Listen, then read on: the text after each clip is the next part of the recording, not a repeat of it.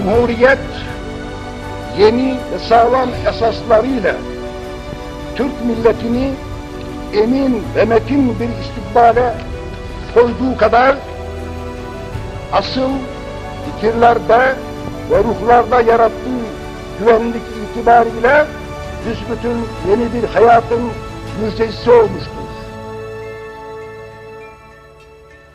Cumhuriyetin çınarı, layık cumhuriyetin kalesi ve demokrasinin teminatıdır Cumhuriyet Halk Partisi. Cumhuriyet Halk Partisi'nin tarihi, Türkiye Cumhuriyeti tarihinin de özetidir. Cumhuriyet Halk Partisi'ni Mustafa Kemal'in bir cümlesiyle özetleyebiliriz. Özgürlük ve bağımsızlık benim karakterimdir. Osmanlı yıkılırken Anadolu insanı kendisini nasıl bir sonun beklediğini bilemiyordu. Ancak Mustafa Kemal Atatürk ve arkadaşları yeni bir varoluşun hikayesini Çanakkale'den yazıyorlardı. Padişah Meclisi'nin kapatılmasını beklemeden Millet Meclisi'ni kurma hazırlıklarına çoktan başlanıyordu. Türkiye Büyük Millet Meclisi 23 Nisan 1920'de büyük sıkıntılar içinde açıldı. Ama bu her şeyin bittiği anlamına gelmiyordu. Çünkü Ankara'nın önünde aşılması gereken daha çok engel vardı. Ülke yepyeni bir geleceğe hazırlanıyordu. Ortak payda ise bağımsızlıktı. Ancak bu davada izlenecek yol konusunda görüş ayrılıkları vardı. Saltanat, hilafet, eğitim sistemi ve devlet şekli gibi sorunlar ortaya çıktı. Bu da 1. Millet Meclisi'nin bölüneceği anlamına geliyordu. Hiçbir demokrasi deneyimi olmamış bir asker liderin e, o Anadolu'nun ortasında e, bir e, siyasi harekete, demokrasiye başlatmış, o başlatması e, çok hayret edilecek, çok saygı uyandıracak bir şey. Halife kendisini hala eski gücünde, saltanatta gelme gücünde zannedermiş gibi bir haldeydi. E, ve e, onu eski padişah gibi selamlamak isteyen, e, onu öyle telakki etmek isteyen e, şeyler de vardı tabii. Karşı çıkanlar tabii başından beri e, şöyle bir düşünce var. Evet, düzen değişecek ama bunun başında da Atatürk olsun. Yani istiyorsa padişah olsun, istiyorsa halife olsun. Böyle düşünenler vardı. Ee, ve onların kaldırılmasına karşı çıkan bir grup vardı. Fakat çoğunluk, e, başta Atatürk olmak üzere, kafalarında çok öncelerden planlanmış bir cumhuriyet vardı. Ve onunla beraber halifeliğin kaldırılması vardı. Ve o kaldırılınca da Lozan Konferansı'nda mecburi olarak karşılarında Türkiye Büyük Millet Meclisi hükümetin ve Türkiye Büyük Millet Meclisi'ni gördüler. Mecliste sert geçen oturumların ardından 1 Kasım 1922'de saltanatın kaldırılması ve halifelik kurumunun lağvedilmesi kararı alındı. Padişah Vahdettin bu kararın ardından 16 Kasım'da bir İngiliz zırhlısıyla İstanbul'dan ayrıldı. Kurtuluş Savaşı tabii çok çetin bir savaş. Dünyanın en güçlü e, ve en ileri çağdaş ülkeleri, devletleri Türkiye'ye geliyor. Bütün topraklarımızı darmadağın ediyor. Ne silahımız var ne ekonomisi var. Mustafa Kemal Atatürk, saltanat ve hilafet konusunda alınan kararların sokaktaki tepkilerini ölçmek ve kurmayı planladığı parti için 14 Ocak 1923'te yurt gezisine çıktı. Ama Ankara'da sular durulmuyordu. Gazi'ye karşı mecliste yeni tertipler planlanıyor, hilafeti savunan broşürler dağıtılıyordu. Birinci mecliste birinci grup vardır biliyorsunuz. Müdafaa Hukuk Grubu. Müdafaa Hukuk Grubu'nun karşısında bir de ikinci grup oluşacaktır bir süre sonra. Ve bu ikinci grubu oluşturan milletvekillerinin ortak özelliklerinin şu olduğunu görüyorsunuz. Vatanın kurtuluşunda hem fikirler. Birinci gruptakilerle, Mustafa Kemal ve arkadaşlarıyla. Ama eski düzenin devam etmesinden yanalar. Yani o saltanat sisteminin ya da işte hilafet e, sisteminin, hilafetin bir devam etmesinden yanalar. Bütün bu yaşananlar meclisin dağılmasına neden oldu. Ufukta ise seçim vardı. Ancak mücadele için bir parti ve bu partinin halka sunacağı programı olmalıydı. Seçimlere yine Anadolu ve Rumeli Müdafaa-i Hukuk Cemiyeti adına girilecek, sonrasında Mustafa Kemal'in düşündüğü parti kurulacaktı. O partide Halk Fırkası'ydı. Halk Fırkası doğrudan doğruya e, Müdafaa-i Milliye Cemiyetlerinin bir konfederasyonu, federasyonu gibidir. Yani İstiklal Savaşı'nın başında biliyorsunuz daha savaş e, başlamadan resmen biz 1919 Mayıs'ı ilan ediyoruz ve Millet Meclisi'nin teşekküründen söz ediyoruz. Türklü cemiyetler vardı, Reddi İlhak cemiyetleri ve müdafaa hukuk cemiyetleri. En yaygını müdafaa hukuktu. E, bunların içinde de tabii eski iddiatçı üyeler vardı. İddiatçıların hepsi öyle Enver Paşa veya saplanmış iddiatçı değil. Bir takım seçkin üyeleri de buralara giriyor artık. Yani o iddiatçılığın politikasından Enver Paşa, Talat Paşa e, devrinden kendilerini sıyırmışlar. Bu yeni oluşuma katılıyorlar. Hiç şüphe yok Kuvayi Milliye, milli mücadelenin temel dayanağı Cumhuriyet Halk Fırkası'ydı.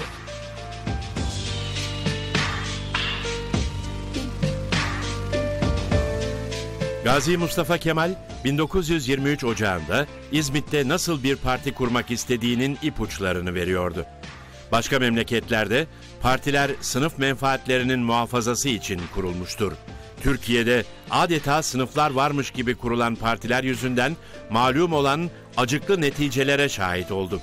Halbuki halk fırkası dediğimiz zaman bunun içine vatandaşların bir kısmı değil, bütün millet dahil olacaktır. Dediğini de yaptı. 9 Eylül 1923 günü yeni bir partinin müjdesini verdi, Halk Fırkası'nı kurdu. Cumhuriyet Halk Fırkası, Cumhuriyet'in teşekkülü safhasında kurucu parti olarak rol oynamıştır. Millet Meclisi'ndeki milletvekilleri, e, bunlardan yeniden seçime gidecek olanlar ve artık bütün Türkiye'deki teşkilatlanma. Çok kısa bir zaman sonra da bu partinin, bu fırkanın teşekkülü dolayısıyla bizzat İstiklal Savaşı komutanlarının biliyorsunuz terakkiperver Cumhuriyetçi fırkayı kurdukları biliniyor. Rejimin bir savunucusu olacak. O da çağdaş dünyada olduğu gibi bir siyasi parti olması lazım. Halk Fırkası öyle kuruldu. Ve Atatürk başından beri buna inanarak bunu kurdu. Ve e, Cumhuriyeti onunla beraber e, götürmeye çalıştı. Çağdaş bir Türkiye hayali kuranlar ve öyle bir vizyonu olanlar bunun demokrasi ve çok partili hayat olmadan olamayacağını bilecek kadar dünyayı biliyorlardı. Avrupa'yı özellikle Atatürk çok iyi tanıyordu. Mustafa Kemal Paşa milli mücadelenin sonlarına yaklaştığında e, artık bir parti kurması gerektiğini, önce cumhuriyeti ilan edecek ama cumhuriyeti ilan etmeden önce de bir parti kurması gerektiğini düşünmeye başlıyor. Çünkü bir parti olmadığını düşünürsek e, yürütülen mücadelenin, partisiz mücadelenin cumhuriyetle taşlandırılması ve o cumhuriyetin ayakta kalması, o siyasi kültürün oluşması mümkün değil. Halk Fırkası kuruluşunu tamamlarken tarihi bir olay daha yaşandı. Dört yıl süren bir dünya savaşı ve ülkenin işgalden kurtulması için yürütülen kurtuluş mücadelesi bitiyordu. Geride yorgun ama onurlu bir halk vardı. İsmet İnönü cebinde Lozan Anlaşması'yla döndü. Aynı günlerde İtilaf birlikleri de Dolmabahçe Sarayı önünden Türk bayrağını selamlayarak gidiyorlardı.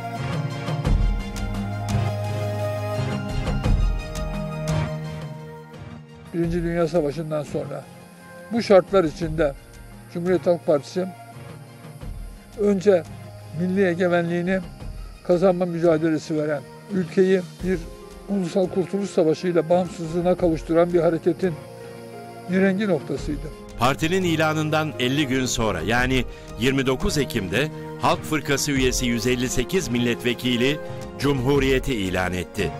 Yeni parti, yeni yönetim şeklini de belirlemişti. Şimdi bir devletin ortaya çıkışında ordu yetmez.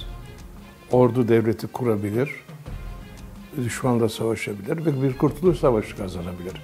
Ama ondan sonra onun üzerine bir devlet inşa etmek için bir siyasi güce ihtiyaç vardır. Bu devleti Türk halkı kendi eliyle, iradesiyle ilmik ilmik örmüş ve kurmuştur. Burada da kullandığı parti Cumhuriyet Halk Partisi'dir. Bu kadar basit. Önce milli devleti oluşturdu. O zamana kadar imparatorlukların güç odaklarının ülkeleri yönlendirdiği bir dünya siyasi tablosunun içinden bağımsız bir devlet olarak ortaya çıktı. Cumhuriyetin ilanının ertesi günü yeni hükümette mecliste ilan edildi. Başbakan İsmet İnönü'ydü. Mustafa Kemal ise devrimin kalıcılığı için daha çok adım atılması gerektiğini düşünüyordu. Arap alfabesinden Latin alfabesine geçme fikri vardı. Harf devrim meselesi Türkiye'de marifin yayılması vatandaşın vatandaş olabilme niteliğinin önündeki en büyük engeldi. Yani çünkü okuyamıyor. Bu hükümet tebliğini dinleyemez, haber takip edemez, gazete okuyamaz. E, propaganda için bile amacıyla olsa bile herhangi bir kitabı kendisine veremezsin. Bir risaleyi sunamazsın. Bu bir lükste değil. Mustafa Kemal Atatürk, yeni Türk harfleri çabuk öğrenilmelidir. Düşünün ki bir milletin yüzde onu, yüzde yirmisi okuma yazma bilir, yüzde sekseni bilmezse bu ayıptır sözleriyle kararlı olduğunu açıklıyordu. Artık her yerde yeni harfleri öğretme ve öğrenme seferberliği başlamıştı. Atatürk çok taraftar. Fakat belli başlı isimlerden bir tanesi mesela Kazım Karabekir Paşa karşı. Sonra İsmet Paşa bunun çok zor olacağını, tedricen yürütülmesini istiyor. Ee, hayır bu bir anda yapılması gerekir deniyor. Ve e, İsmet Paşa karşı gelmesine rağmen bir anda tatbikede katıldı. Bir daha hayatında Osmanlı cemaat tutmadı. Tutmadı yani. Hatta o kadar ki galiba e, Erdal Bey e, oğlu eski harflerle bir şey yazmış böyle tutmuş çok kızmış ona.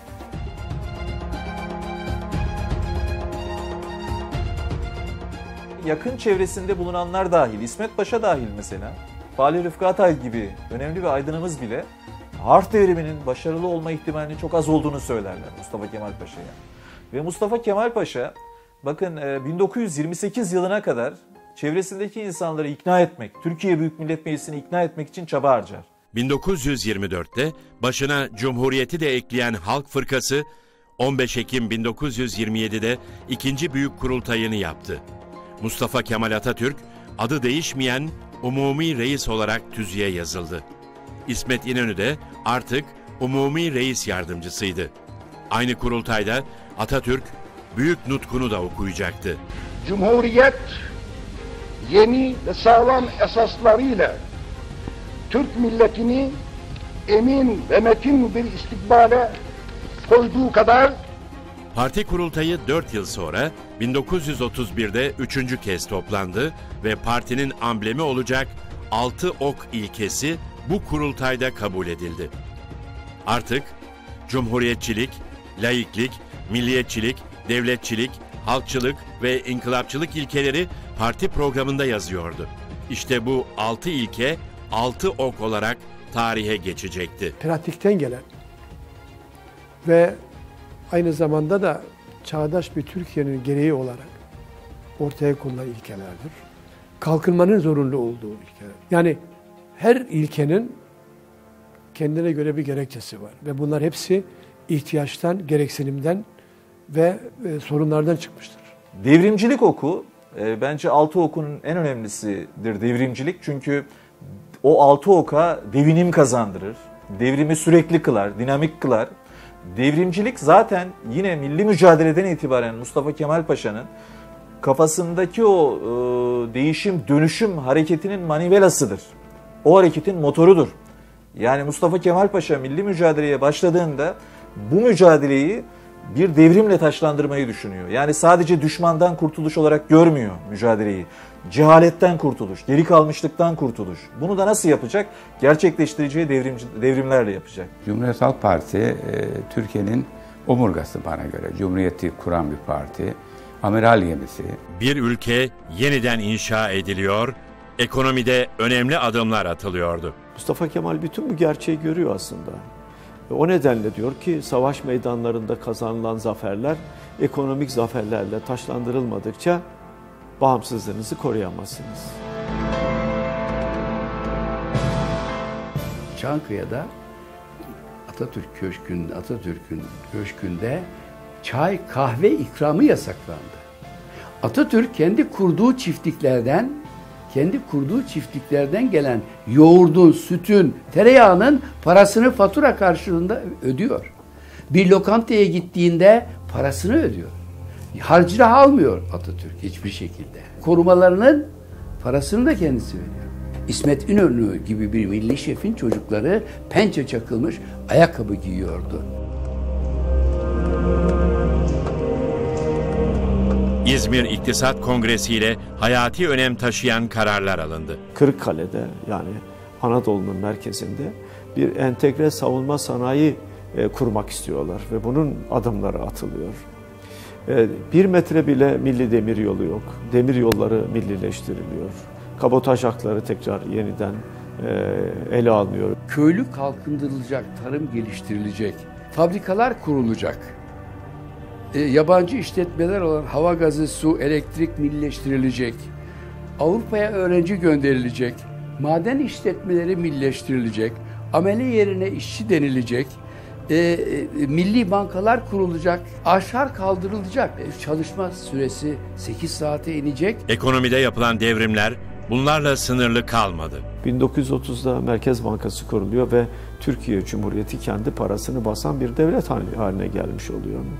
Şeker fabrikaları, çimento fabrikaları, silah fabrikaları, Fisko Birlik, e, Toprak Mahsulleri Ofisi. Bütün bunlar hepsi aşama aşama gerçekleştiriliyor. 1924'te ilk vurulan demir yolu 1927'de Kayseri'ye, 1930'da Sivas'a ve 1938'e gelindiğinde 3170 kilometre demir yolu yapılıyor. Ve bunun 64 kilometresi tünel. Düşünebiliyor musunuz? O gün 800 kişinin yaptığı hafriyatı bugün bir dozer yapıyor. Ve de yabancı demir yolları satın alınıyor. Millet mektepleri kuruluyor, köy enstitüleri kuruluyor ve bu önemli kararlar 10 yılda 10 milyon genç yarattık her yaştan denirken aslında 10 yılda gösterilen başarıları bütün dünyaya e, anlatan e, bir genç Türkiye Cumhuriyeti devleti çıkmış oluyor ortaya. Bu, bu gerçekleşiyor. Bakın haritada görüyorsunuz birinci ve beş yıllık ve ikinci beş yıllık planda kurulacak fabrikaların neler olduğunu. Kibrit üretemeyen bir ülke 1938'de demir çelik üretiyor. Bu tarihi adımları atan Cumhuriyet Halk Partisi günümüzde bazı çevreler tarafından bir dikili ağacı yoktur eleştirilerine maruz kalıyor. Oysa CHP hayatın her alanında seferberlik başlatmamış olsaydı Türkiye çıkmaza girecekti. Eğer Milli Kurtuluş Savaşı'nın e, bağımsızlığı elde ettikten sonra, siyasal bağımsızlık elde ettikten sonra ekonomik bağımsızlık sağlanmazsaydı e, Türkiye bir süre sonra aynı çıkmazın içine girecekti. Çünkü borç para arayacaktı. Ülkeyi yönetmek için yine emperyal güçlere gidecekti, bana para, para verin diyecekti. Ama bütün bunlar bilinçli olarak aşıldı. Bir taraftan millileştirmeler, bir taraftan fabrikalar, bir taraftan eğitim seferberliği, bir taraftan sağlık seferberliği. Hayatın her tarafında seferberlik başladı. Bize eleştiri de gelir, CHP'nin dikili ağacı yoktur diye. CHP'nin bir ağacı var tabi o Cumhuriyet ağacıdır. O Cumhuriyet ağacını inşa ederken orada fabrikalar vardır. Orada üniversiteler vardır. Orada sanatçılar vardır. Orada kültür vardır. Orada demokrasi vardır. Orada kadın erkek eşitliği vardır. Orada adalet vardır. Orada liyakat vardır. Orada hukuk vardır. Orada hak vardır. Dolayısıyla o Cumhuriyet ağacı görkemli bir ağaçtır. o görkemli ağacı her bir dalını demokrasiyle taşlandırmak zorundayız. Bu bizim görevimizdir. İsmet Paşa ile benim yaptığım bir röportajda diyor ki Osmanlı'dan bir gram altın almadık ama 1950'de iktidarı bıraktığımız zaman yüz- e, Türkiye'nin görmediği kadar altın rezervi vardı. Öyle bıraktık. Öyle bıraktık ve borç bırakmadık. Atatürk döneminin o kalkınma hızı devam etseydi bugün bugün Türkiye'nin milli geli- geliri 19.800 dolar olacaktı. Ülkenin kalkınması için kısa sürede çok önemli adımlar atan Cumhuriyet Halk Partisi için 1935 yılı da tarihi önem taşıyacaktı. Yapılan 4. kurultayda Kemalizm ilk defa parti programına girdi. Atatürk son kez katıldığı kurultayda çarpıcı mesajlar verdi. Bizim devlet idaresindeki ana programımız Cumhuriyet Halk Partisi programı. Bunun kapsadığı prensipler idarede ve siyasette bizi aydınlatıcı ana hatlar. Laiklik en önemlisi 28'dir onun da şey, anayasada yer alması. Türkiye Cumhuriyeti'nin esasları bu 10. yıl nutkudur yani. Birçok söylediklerinin bugün çok ne kadar gerçekçi olduğunu ortaya çıkıyor. Gençliğe hitabesi dahil. Kurultayda söyledikleri dahil. Yani gelecekte bazı sorunların çıkabileceğini, Cumhuriyet'in bile tartışabileceğini o yıllarda görebilmiş. Açıkça Mustafa Kemal Atatürk Türk devrimini tanımlıyor. O güne kadar yapılan işleri sıralıyor. Diyor ki yeni harfleri diyor aldık diyor. Öz dilimize sahip olduk. Ulusal tarihe vurgu yapıyor. Mustafa Kemal Atatürk parti üyelerine şu hedefi gösterdi. Ulusa hizmet yolunda bütün varlığımızda çalışmak üyelerinin bozulmaz andıdır.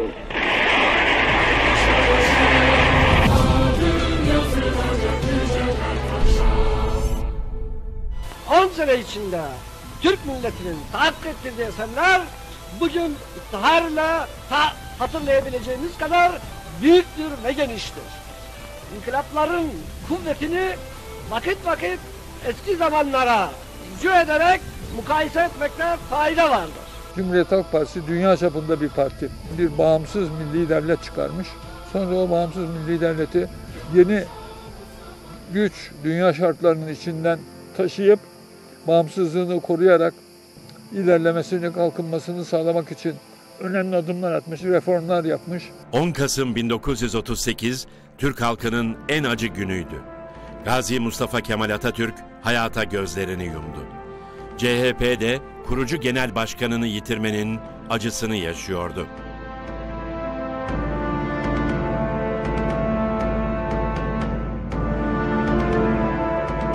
Atatürk'ün ölümünden bir gün sonra 11 Kasım 1938'de Türkiye Büyük Millet Meclisi toplandı. İsmet İnönü ikinci Cumhurbaşkanı seçildi. 26 Aralık 1938'de ise CHP ilk olağanüstü kurultayını gerçekleştirdi. Cumhurbaşkanı İnönü partinin değişmez genel başkanı seçildi. Milli şef dönemi böyle başlayacaktı. ettiğim vazifenin vazifenin icabatına hasret etmekten ayrılmayacağıma namusum üzerine söz veririm. Ve İsmet Paşa için kanun önemlidir. Kanun neyi emrediyorsa ona itaat edilecek. Ortalık karışır. O konuda çok değişiktir kendisi. Yani bir defa Cumhuriyet Halk Partisi'nin temel siyaseti milli devlet siyasetidir. Ancak milli şefi zor günler bekliyordu. 1 Eylül 1939'da patlak veren 2. Dünya Savaşı kapıdaydı. Gençlik yılları cephede geçen İnönü, Türkiye'nin savaşa girmemesi için farklı strateji izleyecek, bunda da başarılı olacaktı. Yeni meseleler çıkacak, yeni gruplaşmalar olacak.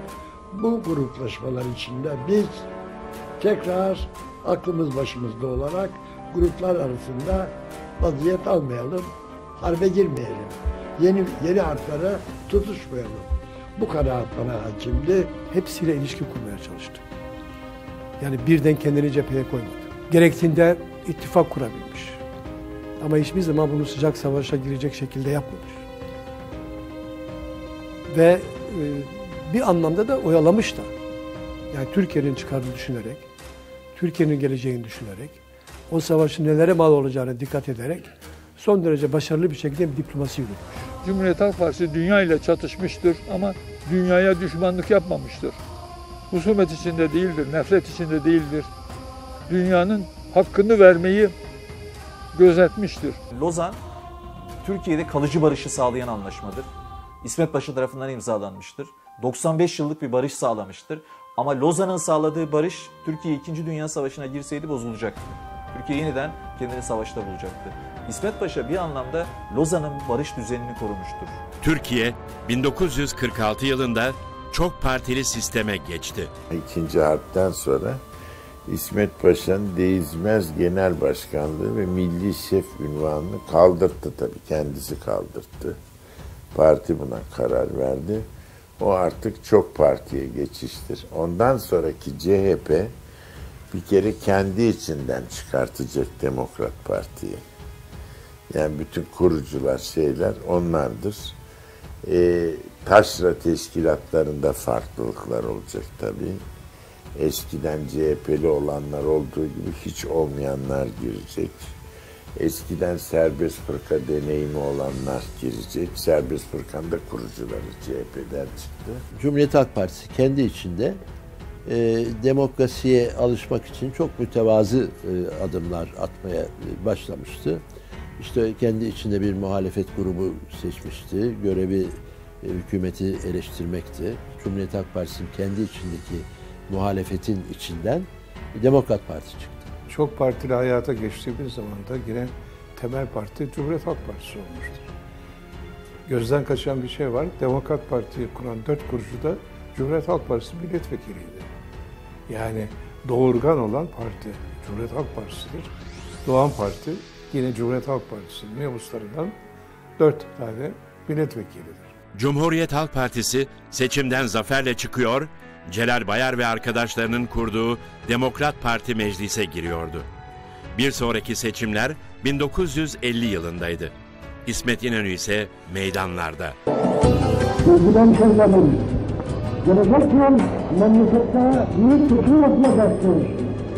Siyasi görüşlerin özelliği vermiştir ki, bir vatandaş bir partideyse, onun amcasının oğlu hatta kardeşi öteki partide olabilir. Bunların bir araya gelip de birbirini titremesi kadar manasız bir şey olur mu? Biliyor musunuz? CHP sadece Türkiye'nin geleceğine yön vermek için çalışmadı. 1951'de tarihi bir adım daha attı. 9. olağan kurultayında tüzük değişikliği yapılmak suretiyle CHP gençlik kollarının kurulması için ilk meşale yakıldı. Yani CHP gençlerin siyasete girmesine de ön ayak oldu. O heyette e, Bülent Ecevit de vardı. E, daha başka arkadaşlar da vardı. Ben de vardım. E, biz o kaç kişiydik? 11 veya 15 15'e çıktık galiba sonradan. E, Ankara'da bulunan ve parti üyesi olan o şekilde bu şekilde yahut yakını olan partiye yakındır da işte üye oldu o şekilde. Onları da isteyerek e, rica ettik geldiler. E, kuruldu ve bütün Türkiye'de te- teşkilatlanmaya başladı. Ben Cumhuriyet Halk Partisi Gençlik Kolları'nda görev yaptım.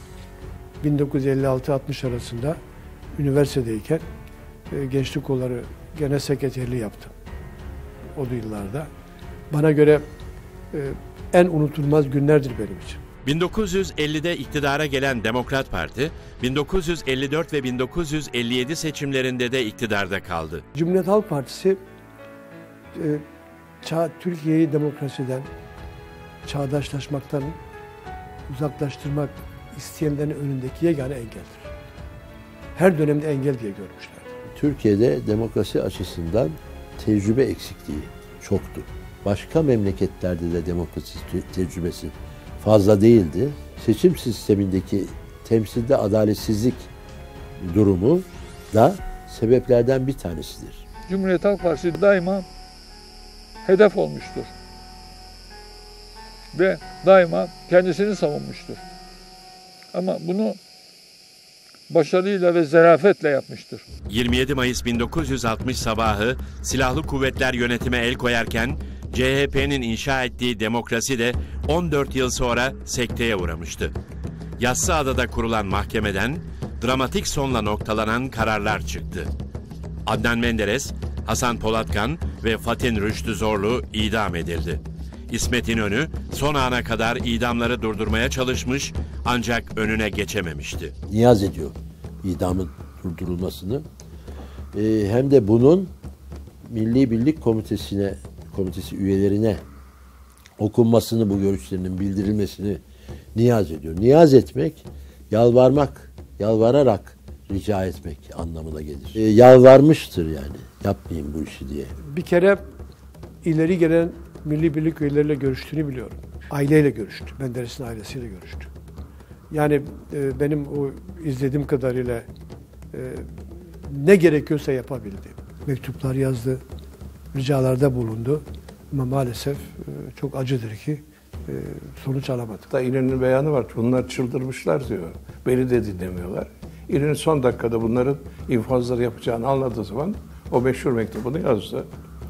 Mektup güzel bir mektuptur ama etkili olmamıştır.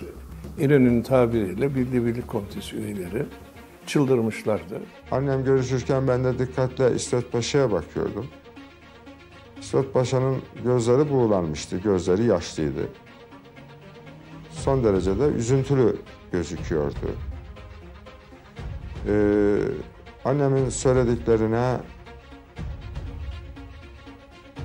bu tür girişimlerde bulundum. Ama çılgın vaziyetteler. Kelimeler aynen aklımda kalmıştır. Bir türlü söz dinlemiyorlar, söz dinletemiyorum dediğini hatırlıyorum. Bir sonraki seçimler 1961 yılındaydı. CHP'nin rakibi Demokrat Parti'nin devamı niteliğindeki Adalet Partisi'ydi. Hiçbir parti için yeterli çoğunluk sağlanamayınca demokrasi tarihinde ilk kez koalisyona gidilecekti. Başbakan yardımcısı İsmet İnönü'ydü. Cumhuriyet Halk Partisi liderleri tarih boyunca hep hedef oldular. Mustafa Kemal Atatürk dışında İsmet İnönü, I have been used to these things since 58 years. Bülent Ecevit,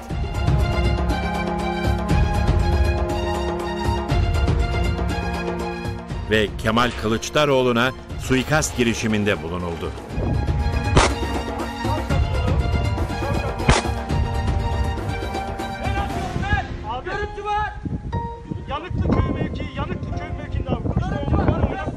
Kemal Kılıçdaroğlu'na sadece namlular doğrultulmadı. Ankara Çubuk'ta da katıldığı şehit cenazesinde provokatörlerin taşlı ve yumruklu saldırısına uğradı, linç edilmek istendi. Her seferinde Cumhuriyet Halk Partisi suçlandı, liderleri suçlandı. Atatürk'ten başlayarak İnönü'den, Bülent Ecevit'ten bana kadar pek çok e, suikast girişimleri oldu. Ama bunlar bizim düşlediğimiz büyük Türkiye davasından, güçlü Türkiye davasından e, bizi vazgeçiremez. Kemal Bey'e saldırı Cumhuriyet Halk Partisi'ne saldırı.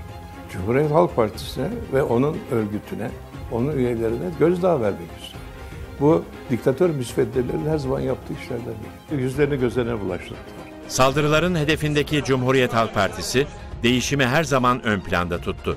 İsmet İnönü de 1965'te partinin yeni sloganını açıkladı. CHP bundan böyle ortanın solundaydı. Nihayet 60'lardan sonra CHP'nin mahiyeti ve bünyesi bu 9 Eylül 1923'te yani Lozan Konferansı'nın hitama ermesi ve Cumhuriyet'in neredeyse yanına yaklaştığımız dönemde ismini değiştiren parti artık mahiyet de değiştirecektir. Yani o eski müdafaa hukuk kurumunun kurduğu, meydana getirdiği Cumhuriyet Halk Fırkası Partisi 1960'lardan sonra mahiyet değiştirmeye başlayacaktır.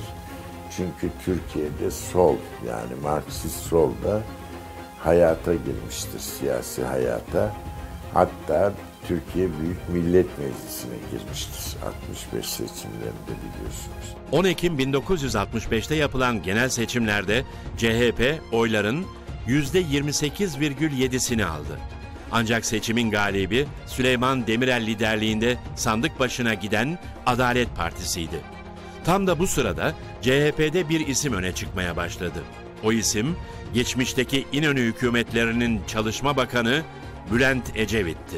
Bu e, tutumu e, İsmet Paşa'nın ve Cumhuriyet Halk Partisi'nin çok eleştirilmişti ve kullanılmıştı. Demokrat e, şey bir polemik malzemesi olarak kullanılmıştı. Ortanın solu Moskova'nın yolu diye yani bu komünistliktir diye. Ortanın solu hareketiyle birlikte CHP kadroları Ecevit önderliğinde gençleşiyordu. Türkiye ise bir kez daha karanlık günlere sürükleniyordu. 1970'te üniversitelerde işgaller, sağ-sol çatışması doruğa çıkmıştı. 12 Mart'ta da asker hükümete ve meclise muhtıra verdi. Ordu partiler üstü bir hükümet kurulmasını istedi.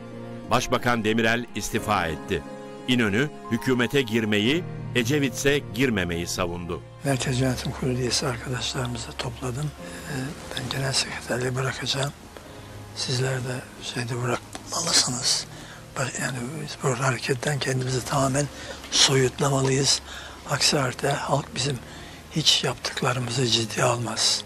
1971'de Nihat Yerin başkanlığında kurulan hükümet 61 anayasasını lüks buldu ve değiştirdi. Solun üzerine gitti. Aralarında gazeteciler, aydınlar, üst rütbeli subayların da bulunduğu binlerce solcu tutuklandı. Gençlik liderlerinden Deniz Gezmiş, Yusuf Aslan ve Hüseyin İnan idam edildi.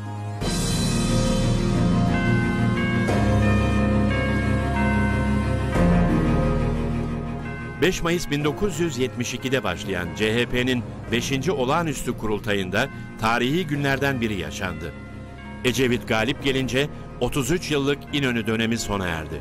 Milli Şef de Ecevit'in arkasında olduğu mesajını verdi. Ecevit'in genel başkan seçildiği kurultayda yönetici olarak salonda Selim Sırıtırcan spor salonunda oturuyordu. Ecevit kürsüden inip yürüdüğü zaman ayağa kalkarak İsmet Paşa ceketini ilikleyerek selam verdi. İnönü 89 yaşında hayata gözlerini yumarken CHP'de bir dönem daha sona erdi.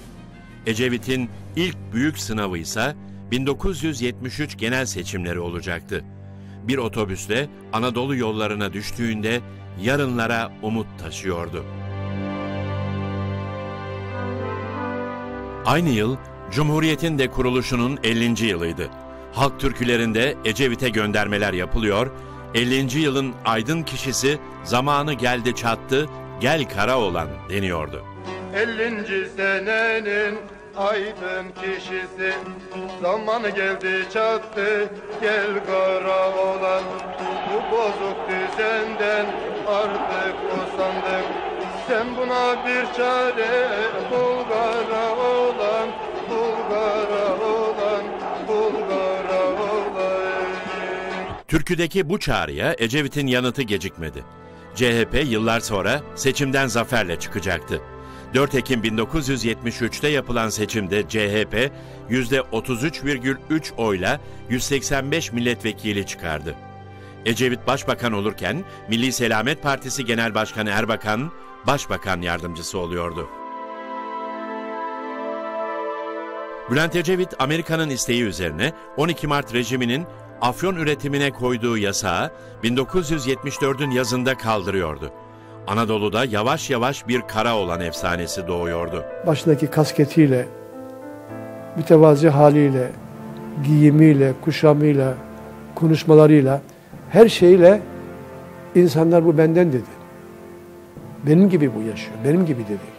Ve aynı zamanda da değişim programıyla çıktı. Şimdi değişim programı olmadan ve o değişim programıyla her kesime de hitap etti. Yani Karaoğlan e, sözünü ben icat ettim diyen çok kimse vardır. E, ama bu mümkün yani. Bir, bir e, Anadolu'nun herhangi bir yerinde birinin aklına o gelmiştir. Zaten esmer bir kimseydi. E, aynı şekilde başkasının da gelmiştir. Çünkü Karaoğlan diye bir resimli roman vardı o sırada. Onu da andırıyordu. 15 Temmuz 1974'te Kıbrıs'ta Yunanistan'daki Albaylar Cuntası'nın desteklediği darbe gerçekleşti. Atina'nın hedefi açıkça adayı ilhak etmekti. Ankara buna kayıtsız kalamazdı. Başbakan Ecevit Kıbrıs'a müdahale kararı aldı. 20 Temmuz 1974 sabahı Türk askeri Kıbrıs'taydı. Aslında savaş için değil, barış için. Yalnız Türklere değil, Rumlara da barış getirmek için adaya gidiyoruz. Ecevit'in kendi ulusal politikasını izlemesinden rahatsız olan Amerika Birleşik Devletleri, Türkiye'ye çok ağır ambargolar koydu. Ama Karaoğlan'ın durmaya niyeti yoktu. Hedefinde 1977 seçimleri vardı. Öncesinde ise 27 Kasım 1976'da partisinin 23. kurultayını toplayan Bülent Ecevit, güven oyu alıp yeniden genel başkan seçildi. Kurultayda CHP'nin Sosyalist Enternasyonel'e katılma kararı da alındı. Parti afişlerinde silah gidecek, barış gelecek sloganları yazılıydı. Ancak sloganların tam aksine ülke hızla terör kıskacına sürükleniyordu.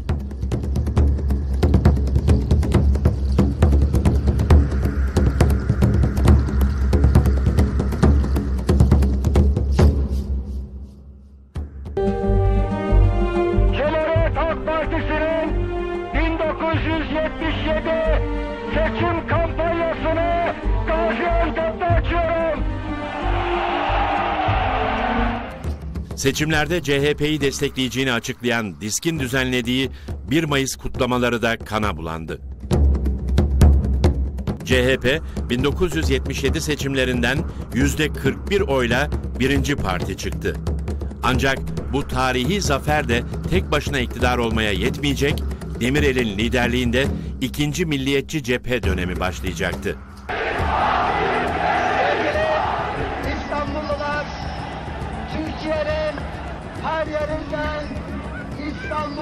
Gelmiş sevgili yurttaşlarım sizleri gösterdiğiniz bu sıcak ilgi için bize kattığınız bu güç için şükranla ve saygıyla selamlarım. Kanlı olaylar birbirini izledi.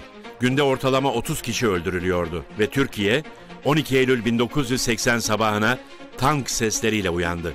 Ordu yönetime el koydu. CHP Genel Başkanı Bülent Ecevit ve milletvekilleri tutuklandı. Parti de MGK tarafından kapatıldı. Bir dönem daha böylece kapanmış oldu.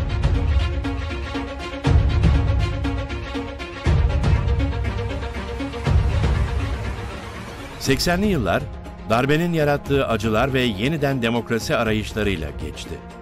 20 Mayıs 1983'te Halkçı Parti kuruldu. Kurucu genel başkanı da Necdet Calp'ti. İşçi mi alacak? Memur mu alacak bunu?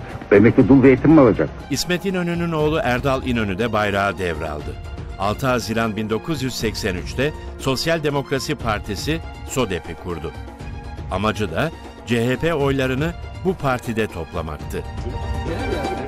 1985'te solda birleşme kısmen de olsa gerçekleşti. Halkçı Parti 2 Kasım 1985'te SODEP'le birleşti ve Sosyal Demokrat Halkçı Parti adını aldı. CHP'nin birinci kurultayında İnönü Genel Başkan seçildi. Ecevit ise Demokratik Sol Parti'yi kurmuştu. Sayın Ecevit'in, merhum Ecevit'in uzun süren devlet ve siyaset hayatında yapmış bulunduğu hizmetler hatırlanacaktır demişim. İşte onu bugün onu yapıyoruz. 45 sene süren siyasetin sonunda başbakan olarak tamamladı siyasi hayatını. Bu çok önemli bir olaydır. Çok misalleri yoktur. İnmiş çıkmış, batmış çıkmış, kaybolmuş, geri gelmiş. Ama salmamış ipin ucunu. İpin ucunu salmamış. Birbirini etkileyen iki kişi varsa bu evvela merhum Ecevit'le benim. 19 Haziran 1992'de bir başka tarihi gün yaşanıyordu. 12 Eylül yönetimince kapatılan partilerin yeniden açılmasını sağlayan anayasa o gün mecliste kabul edildi. CHP 9 Eylül 1992'de yeniden doğdu. Genel başkanlığa da 679 oyla Deniz Baykal seçildi. Milletin dili partilerdir. Türk milletinin de böyle bir zengin siyasi hazinesi vardır. Yani Merkez Bankamızın ekonomik zenginliğinden çok daha fazla Türkiye'nin dünya çapında bir siyasal birikimi vardır. Bu siyasal birikimin en önemli ayaklarından biri de Cumhuriyet Halk Partisi'dir. Murat Karayalçın, Sosyal Demokrat Halkçı Parti'nin 11-12 Eylül 1993'te yapılan 4. olağan kurultayında genel başkan seçildi. Sosyal Demokrat hareket için 1995 Şubat'ında CHP ve SHP birleşme kararı aldı. Partinin genel başkanı da Hikmet Çetin oluyordu. İç mücadele görüntüsünü bitirmek zorundayız. Halkımızın isteği budur. Öyle bir hazırlığım da yoktu. Şubat ayında 1995 e, böyle bir evde arkadaşlar otururken e, Deniz Baykal telefon etti. Arkasından Murat Karayalçın telefon etti. Böyle bir görevi kabul etmeme lüksümün olmadığını, yani böyle önemli bir görev karşı karşıya olduğunu söylediler. Kabul ettim. 1995'in 9 Eylül'ünde CHP yeniden kurultaya gitti. Baykal genel başkandı. Önümüzde büyük görevler var. Bu görevlerin altından kalkacağımızdan kuşku duymuyorum. Kendime güveniyorum, size güveniyorum, halkımıza, yurttaşlarımıza güveniyorum. İyi bir şey değil barajın altında kalması bir partinin. Hele Cumhuriyet Halk Partisi'nin bu ilk defa başına gidiyor Cumhuriyet Halk Partisi'nin. Meclisin e, dışında kalması, seçim kaybederek kalması ilk defa oluyordu. 18 Nisan 1999'da sandıklar kuruldu. DSP %22,1 oyla birinci parti oldu. Sonuçlar CHP içinse şoktu. %8,7 oy alan CHP meclis dışında kaldı.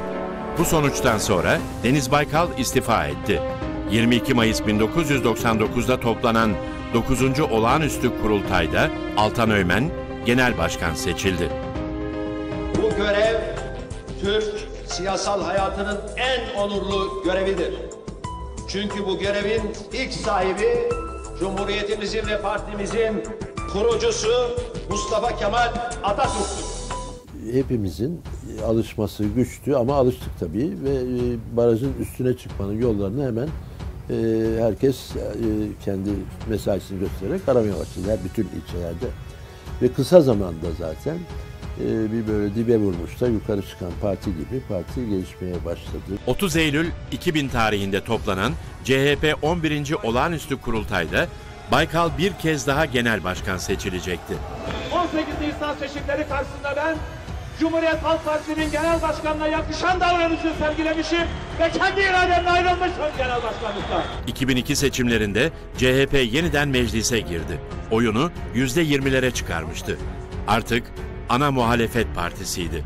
Türkiye'yi seçime götürüyoruz. Yeni bir başlangıç yapacağız. Ee, bize destek verirseniz bu başlangıcı el birliğiyle yaparız. Dünyada Amerika önderliğinde yeni bir düzenin kurulmakta olduğu yavaş yavaş ortaya çıkarken Türkiye erken genel seçime gitti. AK Parti iktidar oldu. 2009 yerel seçimlerinde ise CHP'de Kemal Kılıçdaroğlu ön plana çıktı.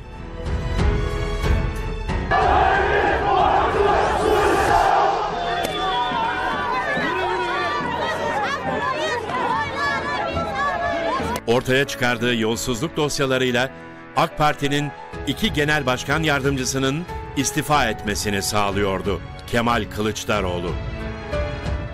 Türkiye'nin en borçlu belediyesi hangi yüzde böyle bir programa çıkabilir? E, geçmiş siyasal iktidarlar bir şekliyle e, yolsuzluk komisyonlarının önünde hesap verdiler. Ama yolsuzluk konusunda bu kadar titiz davrandığını iddia eden bir siyasal parti bir süre sonra e, yolsuzlukların ana aktörü haline gelmeye başladı. Orada çok net bazı bilgileri, bazı belgeleri kamuoyuyla paylaştı. İnkar edildi ama bütün bu bilgilerin, belgelerin doğru olduğu ortaya çıktı. Sonra bunlar istifa etmek zorunda veya ayrılmak zorunda kaldılar. Ekrandaki tartışmanın galibi partinin İstanbul Büyükşehir Belediye Başkan adayı da oluyordu. Kılıçdaroğlu büyük bir heyecan fırtınası yaratmıştı. Onların maskelerini indirdim ben. Bunları unutmayın. Yaşanan gelişmeler üzerine Deniz Baykal istifa etti. CHP 22 Mayıs 2010'da 33. olağan kongreye gitti. Kemal Kılıçdaroğlu 1189 oyla CHP'nin yeni genel başkanı oldu. Hepinize teşekkür ediyorum. çok ağır bir görevi üstlendiğimin bilincindeyim. Mustafa Kemal'in, İnönü'nün, Bülent Ecevit'in, Deniz Baykal'ın koltuğuna oturacağım. Bu koltuğun sorumluluğunu biliyorum. Bu e, sembol olarak gözüküyor Cumhuriyet Halk Partisi'nin genel başkanı. Dirayetle de götürüyor Cumhuriyet Halk Partisi'ni. Kemal Bey'de ben çok beğendiğim taraf partisi içerisinde ifrat ve tefrit arasında denge unsuru olmuştur. Geliyor Kılıçlar Kılıçdaroğlu Hem temiz hem de dürüst bir insanoğlu Sayın Kılıçdaroğlu bu tutumu, siyasetteki yeni söylemi, sevecen, kucaklayıcı, insan merkezli, Cumhuriyet'in temel değerlerine sahip çıkan ama e, halkın değerlerinden de yatsımayan, e, onlara ters düşmeyen, onlara da sahiplenen, Türkiye 15 Temmuz 2016'da askeri darbe girişimine sahne oldu. Darbe girişimine karşı sesini ilk yükselten liderlerden biri de Kemal Kılıçdaroğlu'ydu. CHP Genel Başkanı Başbakan Binali Yıldırım'ı arayarak yanında olduklarını söyledi. Her zaman demokrasiden yana olan Kemal Kılıçdaroğlu, asker postalının sadece cephede ve kışlada olması gerektiğini savunuyordu. İlk tepkim şu oldu. Biz darbeye karşıyız. Diyorlar ki CHP'ye teşekkür ediyoruz. Ya teşekkür değil. Bu zaten bizim görevimiz. Demokrasiyi savunmayacaksak, cumhuriyeti savunmayacaksak neyi savunacağız? Teröre ve darbe girişimine karşı dimdik ayakta duran Kemal Kılıçdaroğlu, adalet yürüyüşüyle de tarihe geçti. Cumhuriyet hayatımızın önemli hadiselerinden biri. Üç tane laf, hak, hukuk, adalet birbirine benzeyen cümleler, kelimeler. Ama bir araya getirdiğiniz zaman bir hukuk devletini ortaya koyuyor. Bir cumhuriyeti ortaya koyuyor. O halin getirdiği tek adam yönetimi, kararnameler, gözaltılar ve tutuklamalarla ülkeyi çıkmaza sürüklüyordu. İktidarın gerek partiye gerek Türkiye'ye yönelik olarak, aydınlara yönelik olarak, doğrudan insanlara yönelik olarak aldığı rigid kararlar vardı. Hapishanelere haksız yere atılan insanlar, e, Balyoz gibi, Ergenekon gibi, milletvekilleri gibi, e, yazarlar, çizerler, aydınlar, avukatlar, akademisyenler, bütün bunlar bir anlamda sorgusuz sualsiz hapse atılıyordu ve biz her seferinde hadi düzelecek, düzelecek, düzelecek derken düzelmiyordu ve her seferinde e, bardağa düşen damlalar vardı. Buna bir de 14 Haziran 2017'de mahkemeden çıkan bir karar eklenince içinden çıkılmaz bir hal alınıyordu. MİT tırlarına ait görüntüleri gazeteci Can Dündar'a verdiği iddiasıyla yargılanan CHP İstanbul Milletvekili Enis Berberoğlu tutuklandı. 25 yıl hapse çarptırıldı. Herkesin umutsuzluğa kapıldığı bir anda Kemal Kılıçdaroğlu adalet ateşini yaktı. Bıçak kemiğe dayandı artık. Yeter diyoruz. Bunun için yürüyüşümüzü başlatıyoruz. Bu ülkeye adalet ya gelecek ya gelecek. Enis Berberoğlu tutuklandı ve onun e, adalet arayışındaki damlası bardağı taşırdı. Ve bizim bir şeyler yapmamız gerekiyordu. Kırmadan dökmeden yapmamız gerekiyordu ve geniş kitlelere, vicdan sahibi olan herkese e, yönelik bir şeyler yapmamız gerekiyor. Ya evet yani bir adalet arayışı var ve bizim yaptığımız adalet çağrısı ya da adalet yürüyüşü e, toplumun her kesimi tarafından da kabul edilmeliydi. E, dolayısıyla bu düşünceden yola çıkarak hemen parti meclisini topladık. 15 Haziran 2017'de Ankara Güven Park'ta yakılan ateş dalga dalga büyüdü.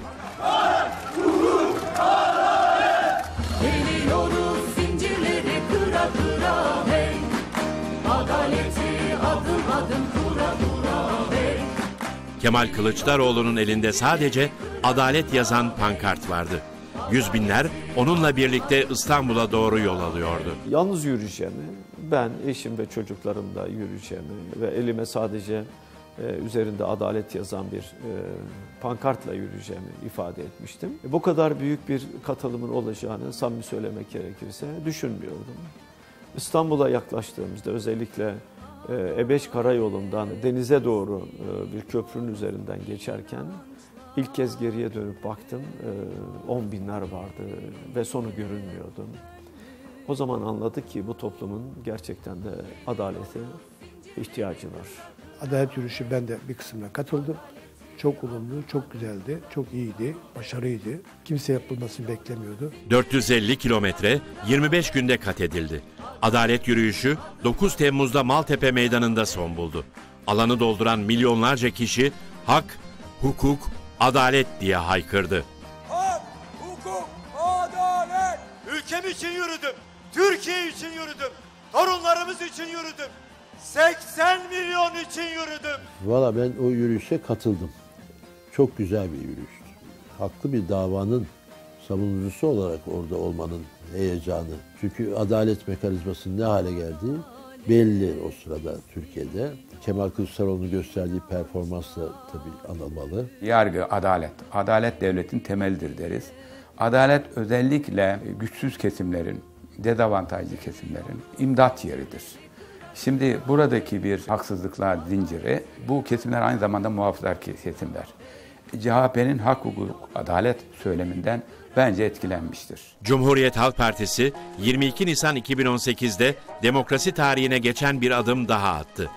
İyi Parti'nin 24 Haziran 2018 tarihinde yapılacak olan genel seçimlere girebilmesi için milletvekili desteği verdi. Cumhuriyet Halk Partisi bozuk takım elbise giymemeli. O Kuvayi Milli Hareketi'nin bugünkü temsilcisi gibi kaldı. Bu, bu Cumhuriyet'in temel direği olduğunu, iki sütunu vardı Cumhuriyet'in. Biri Demokrat Parti Kıratı sütunu, biri de Altıok sütunu. Hiç olmazsa onu temsil etmeye devam etmeli. Bu politika Türkiye'de gördüğünüz gibi sonuç veriyor. 15 CHP milletvekili partisinden istifa edip İyi Parti'ye katıldı. Böylece Meral Akşener'in genel başkanlığını yaptığı İyi Parti 20 milletvekiliyle Türkiye Büyük Millet Meclisi'nde grup oluşturup seçime doğrudan katılma hakkı elde etti. Cumhuriyet Halk Partisi'nin bugünkü çizgisinin karşı devrime karşı önemli bir cephe oluşturduğunu düşünüyorum. Aşağı yukarı 18 senedir Türkiye karşı devrime yaşıyor. Yani bugün siyasi İslam hareketi için yapılanları, söylenenlere arka arkaya koyduğunuz zaman benim bu savımın doğru olduğu söylenir. Cumhuriyet Halk Partisi sadece muhalefete demokrasi elini uzatmıyordu. Partide Kemal Kılıçdaroğlu ile birlikte çok şey değişti. Toplumun her kesimine kucak açıldı. Eğer sadece size oy veren kitleye hitap ederseniz, e, size oy vermeyen kitleyle olan ilişkileri ve bağınızı koparmış olursunuz.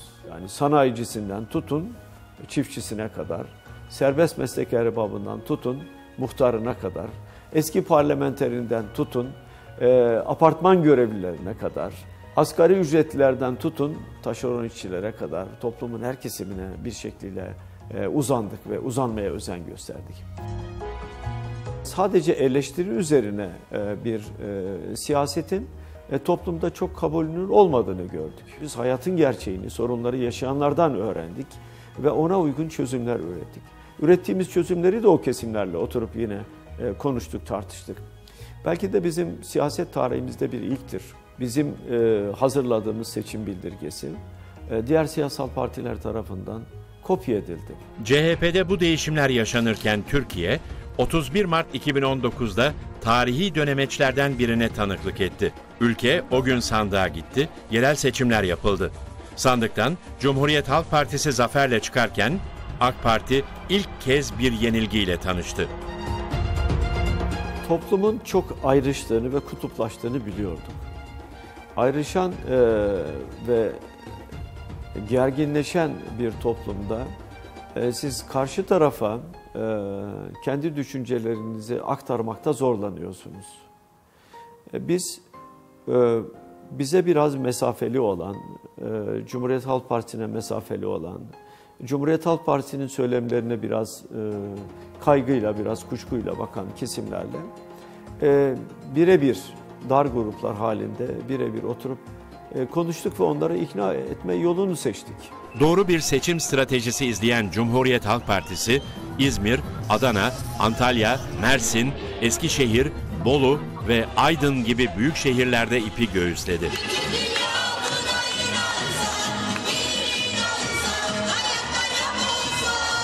Ve toplumun her kesimiyle bir anlamda diyalog kurduk. Bunu Ankara'da da, Antalya'da da, İstanbul'da da, e, Diyarbakır'da da pek çok yerde e, bu tür bir e, çalışma sergiledik ve bunun artılarını aldık. Ankara'da da 25 yıl sonra bir ilk yaşandı. Seçime Millet İttifakı adına giren CHP adayı Mansur Yavaş, %50,91 oy oranıyla sandıktan belediye başkanı olarak çıktı. Bugünden itibaren Ankara'da belediyecilikte adaletin ve baş üstünde taşınacağı ehliyet ve liyakat dönemi başlamıştır. İşte bunun için hiç kimse kaybetmemiş, Ankara kazanmıştır. AKP çizgisi 25 yıl sonra sadece Ankara'da değil, İstanbul'da da kaybetti. CHP adayı Ekrem İmamoğlu sandıktan zaferle çıktı. Cumhuriyet Halk Partisi 25 yıl sonra İstanbul Büyükşehir Belediye Başkanlığını kazandı.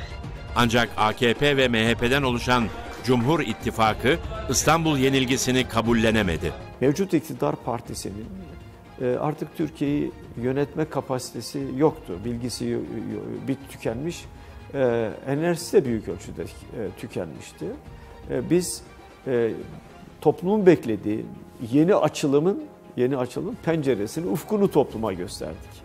İmamoğlu'nun zaferine gölge düşüren ilk açıklama seçim gecesi saat 23.20'de Cumhur İttifakı adayı Binali Yıldırım'dan geldi. O gece İçişleri Bakanı Süleyman Soylu ve Adalet Bakanı Abdülhamit Gül Binali Yıldırım'la görüştü. Bu kaybedilen seçimde Binali Yıldırım'ı da mücadeleye katmak için yapılan bir ikna toplantısıydı. Yüksek Seçim Kurulu Başkanı Sadi Güven sabah saatlerinde İmamoğlu'nun önde olduğunu açıkladı. Bu gelişmeden sonra Anadolu Ajansı verilerini güncelledi. Ancak bu kez de oyların çalındığını iddia eden AKP sonuçlara itiraz edeceğini duyurdu. Hak yemedim yemem ama hakkımı da yedirtmem. Bu kadar net. AKP 7 Nisan pazar günü tüm oyların yeniden sayılması için YSK'ya başvurdu. Büyükçekmece'de seçimin yenilenmesini istedi. AKP Seçim İşleri Başkanı Ali İhsan Yavuz, hiçbir şey olmasa bile kesinlikle bir şeyler oldu açıklamasıyla tarihe geçti. Yani hiçbir şey olmamış ise biz diyoruz ki kesinlikle bir şeyler oldu. Maltepe'de sona eren sayım işlemlerinin ardından sonuçlar açıklandı. İmamoğlu'na 4 milyon 169 bin, Yıldırım'a da 4 milyon 156 bin oy çıktı. Aradaki fark 13 bindi. YSK'nın İstanbul'la ilgili vereceği karar bekleniyordu. Öncesinde Erdoğan ve Bahçeli'den gelen açıklamalar aslında o kararın ne olacağının ipuçlarını veriyordu. Yüksek Seçim Kurulu 6 Mayıs'ta verdiği kararla endişelerin ne kadar yerinde olduğunu gösterdi. Seçim 4'e karşı 7 oyla iptal edildi. Üstelik 4 pusuladan sadece birinin yani Büyükşehir Belediye Başkanlığı seçiminin yenilenmesine hükmetti. Çok güzel şeyler olacak. Hiç kimse meraklanmasın. Bu ülkeye demokrasiyi getireceğiz. Her şeye karşın getireceğiz. Mücadelemiz demokrasi için olacak. Yüksek Seçim Kurulu doğru kararlar vermiştir. Askeri idareler de doğru kararlar vermiştir. Diktatörlere karşı doğru kararlar vermiştir. Ama bugün bir belediye seçiminde verdiği kararla kendisini mahkum etmiştir. Cumhuriyet Halk Partisi 8 Mayıs'ta İstanbul'un 39 ilçesinde seçimlerin yenilenmesi için Yüksek Seçim Kurulu'na başvurdu. Ancak YSK CHP'nin bu talebini reddetti. İstanbul 23 Haziran'da bir kez daha sandığa gitti. Seçmenin tercihi daha farklı oldu. Ekrem İmamoğlu seçimi ezici bir üstünlükle bir kez daha kazandı. Rakibi Binali Yıldırım'a 806 bin oy fark attı. Her şey! Her şey! CHP bütün ilçelerde oyunu arttırırken AKP düşürdü. Bu da Türkiye'de artık hiçbir şeyin eskisi gibi olamayacağını gösterdi. Türkiye Cumhuriyeti'nin temelini atan, ülkeye demokrasi getiren, içeriden ve dışarıdan gelen bütün tehlikelere karşı her zaman göğüs geren Cumhuriyet Halk Partisi şimdi ve gelecekte de aynı misyonunu devam ettirecektir. Ulusa hizmet yolunda bütün varlığımızda çalışmak parti üyelerinin bozulmaz andıdır. O bir çınar aslında. Biz ona demokrasi çınarı, cumhuriyet çınarı diyoruz. O cumhuriyet çınarını büyütmemiz gerekiyor. Yüz yıllık bir çınar. Dolayısıyla o cumhuriyet ağacı görkemli bir ağaçtır. O görkemli ağacı her bir dalını demokrasiyle taşlandırmak zorundayız. Bu bizim görevimizdir. Cumhuriyet yeni ve sağlam esaslarıyla Türk milletini emin ve metin bir istikbale koyduğu kadar asıl fikirlerde ve ruhlarda yarattığı güvenlik itibariyle büsbütün yeni bir hayatın müjdecisi olmuştur.